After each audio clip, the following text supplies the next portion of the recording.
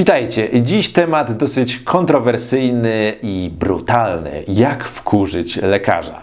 E, Jako lekarz e, powiem Wam, w jaki sposób pacjenci wkurzyli mnie. Często w sposób niezamierzonym, niekwestionowanym. Liderem sposobów, jak wkurzyć lekarza jest...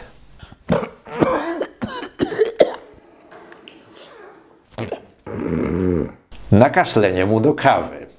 Tak jest, zdarzyło mi się to kilkukrotnie w moim życiu, zwłaszcza w momencie, kiedy badałem e, pacjenta i on w tym momencie nachylił się i nakaszlał mi do kawy, tak jak widzieliście na filmie.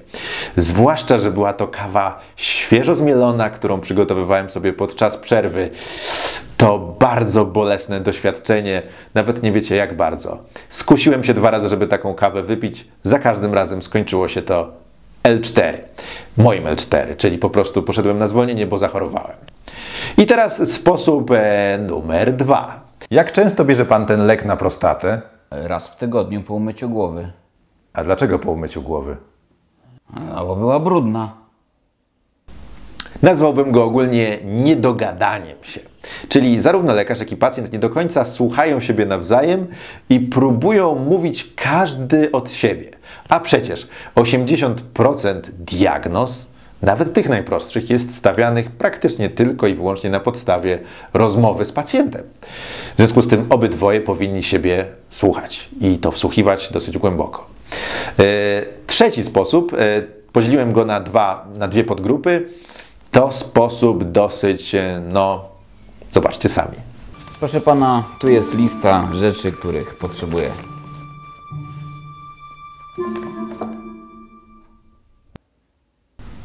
Nazwałbym to pacjent roszczeniowy.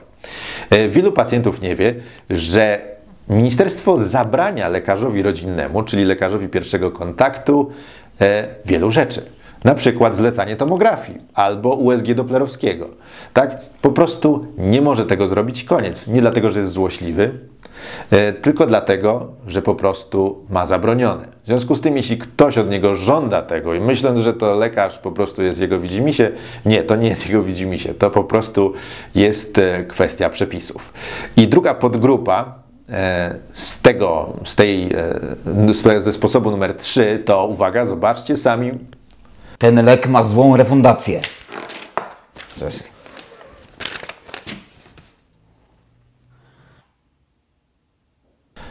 To refundacja leków. Temat rzeka.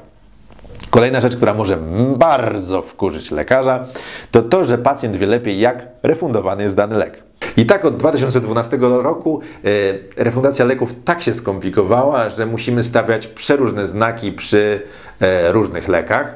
Co ciekawe, refundacja leku, tego samego leku może się różnić w zależności od nazwy, w zależności od ilości tabletek w opakowaniu i może co dwa miesiące ulegać zmianie. Doprowadza to oczywiście do tak wielkich absurdów, jak na przykład e, lek refundowany 0% 0 groszy, jakim jest jeden z preparatów kwasu foliowego. E, i na przykład e, trzy różne stopnie refundacji niektórych leków na astmę lub cukrzycę, albo moje ulubione, refundacja pasków co najmniej e, na trzy różne sposoby w zależności od ilości wstrzyknięć insuliny.